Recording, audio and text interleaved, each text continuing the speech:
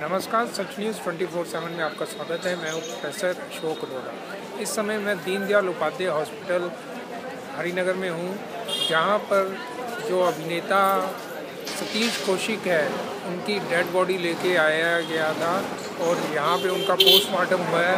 Postmortem होने के बाद अब बॉडी को लेके एयरपोर्ट ले जाया गया है, जहाँ से उसको मुंबई ले जाया जाएगा, जहाँ पे उनका निवास है और मुंबई में उनका संस्कार किया जाएगा।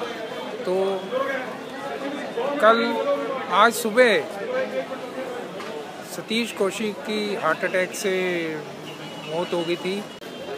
सतीश कौशिक की जब तबीयत ख़राब हुई तो उन्हें फोर्टिस हॉस्पिटल ले जाया गया और फोर्टिस अस्पताल में उनकी डेथ हो गई।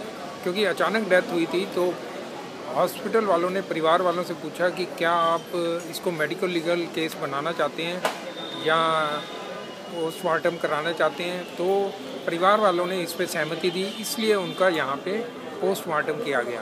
अब पोस्टमार्टम के बाद ये पाया गया है कि जो डेथ है, वो कार्डियक अरेस्ट की वजह से हुई है, जो हार्ट अटैक है, उसकी वजह से ही डेथ हुई है। अब इतने हार्ट अटैक आजकल क्यों हो रहे हैं, इस पर संदेह पैदा होता है।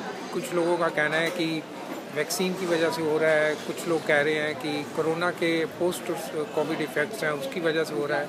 लेकिन ये तो जाँच का विषय है। जब तक सरकार इस पर जाँच नहीं करेगी, तब तक पता नहीं लग पाएगा कि इस प्रकार आजकल इतने सारे डेथ क्यों हो रही हैं। कार्डिक अरेस्ट हो रहे हैं। आप देखिए, यंग लोगों में कार्डिक अरेस्ट हो रहे हैं, जो जिम में जा रहे हैं, वहाँ कार्डिक अरेस्ट हो रहे हैं। कोई डांस कर रहा है, वो डांस करते करते गिर रहा है। तो ऐसी एक नहीं सैकड़ों घटनाएँ आपने सुनी हुई हैं और ऐसी नोटिस में आ रही हैं। तो सरकार को करने चाहिए जाँच कि आखिर इस प्रकार के जो कार्डिक अरेस्ट हो रहे हैं, उसकी क्या हो Sach news twenty four seven से अशोक अरोड़ा नमस्ते